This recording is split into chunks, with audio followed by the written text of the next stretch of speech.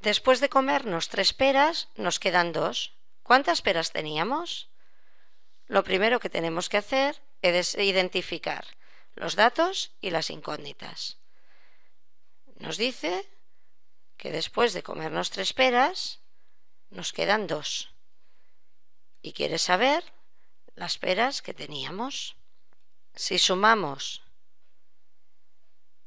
las peras que nos hemos comido con las peras que nos quedan, obtendremos el total de peras que teníamos, que son 5.